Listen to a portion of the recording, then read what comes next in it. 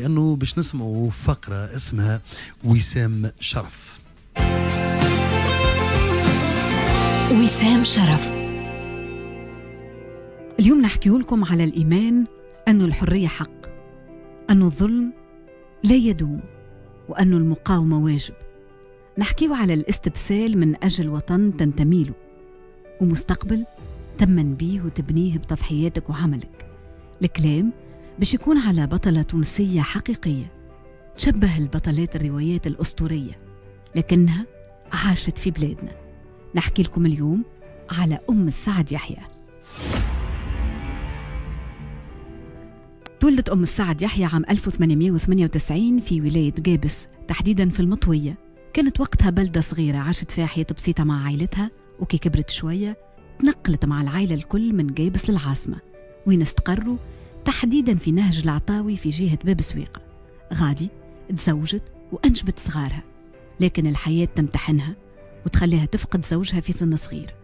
وضع يخليها تتحمل المسؤولية وحدها في وضع عصيب تمر به البلاد بداية الحركة الوطنية ومقاومة الاستعمار. الشارع يغلي. أم السعد المستقبل اللي تراه هو ولادها أحرار ترى في الاستقلال باش ينجموا ينعموا بالحرية. تقرر تتطوع مع الحركة الوطنية ومجهود المقاومة. بدأت من الأول تجميع المنشورات في منزلها اللي تحول يوم بعد يوم إلى مركز للاجتماعات. وفي مرحلة متقدمة أصبح مخزن حقيقي لسلاح المقاومة. مش هذا كهو. بيوتها العربي تخبوا فيهم فلاقة هاربين من العسكر. تخبوا فيها زادة برشا زعماء سياسيين كما زعيم الحبيب بورقيبة عام 1943 أم السعد يحيى كانت ترقد تحت الفرش متاعها كمية من السلاح تنجم تخليها تعدي بقية عمرها في السجن. كانت معرضة حياتها للخطر في كل لحظة. شبح الموت يخيم عليها وعلى عائلتها. سلطات الاستعمار تستجوبها أكثر من مرة يبحثوها أكثر من مرة. لكن عمرها لا سلمت أو دلت على معلومات تنقص من جهد المقاومة. أم سعد يحيى مش هذا كهو. كان دورها في المقاومة التونسية تقنع النساء بأهمية مشاركتهم في المقاومة. معركة التحرير تهم الكل. كانت حاضرة نهار محاكمة الزعيم علي البلهوان وين هاجم مئات من تلامذة الزيتونة على الكرهبة اللي هاز علي بلهوان للمحكمة ودخلوا في صدام مع العسكر الفرنسي. الاصطدام هذا تسبب في استشهاد العشرات وين حاولت هي ومجموعة من النسوة حمايتهم. وقت اللي رجع بورقيبة لتونس استدعاها طلب منها تكوين أول شعبة نسائية. وولات وقتها واحدة من الزعيمات اللي يقودوا الاجتماعات العلنية والسرية زادة ويطالبوا بالاستقلال. في حادثة 9 أفريل تتوقف أم السعد وين يشدها المستعمر وهي شادة سلاح في يدها. بعد بمدة وبعد ما يتبدل المقيم العام إجاها قرار الإفراج.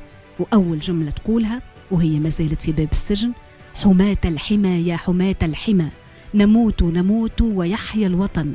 بعد الاستقلال يوسمها الحبيب بورقيبة بالوسام الثاني من وسام الاستقلال. توفت أم السعد عام 1972 يتم تخليد اسمها على نهج من أجل أنهج العاصمة. أم السعد كانت بطلة حقيقية ضد المحتل اللي كان يعمل لها ألف حساب. واحدة من أهم المناضلات في البلاد هذه ساهمت باش تخرج المستعمر منها. هي تونسية ساهمت في كتابة التاريخ وإهداء الحرية للتونسيين. وتستحق على كل ما قدمته. وسام شرف. وسام شرف. وسام شرف آه، للناس اللي خلدهم التاريخ آه، رجال ونساء. ونساء المساهمات في الحركة الوطنية. المنسيات أحيانا. أي المنسيات أحيانا. حقيقة ما كنتش نعرفها. برشا برشا برشا التاريخ يعرفوش. بين دونك ما والله كنتش نعرفها العظيم سابقا محلاها. والله بطلة حقيقية فعلا. محلاها بطلة قصة. أم السعدة آه شكرا زينب كانت هذه وسام شرف متاع اليوم. شكرا رباب. آه إن شاء الله يرجع بعدنا رفع في. قادم ال- الأيام.